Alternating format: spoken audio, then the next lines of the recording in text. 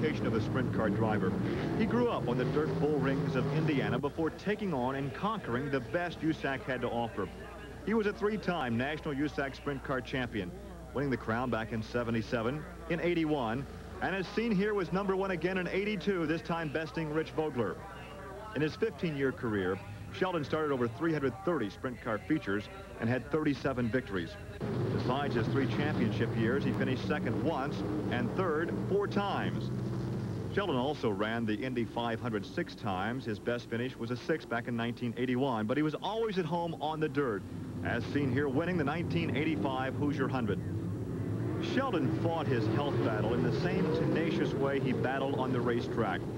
After his original cancer surgery, he battled back to race again last season as he was seen live on ESPN from Santa Fe Speedway in suburban Chicago.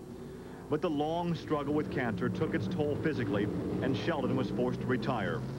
He is survived by his wife, Susie, and young children, Shelley and Justin.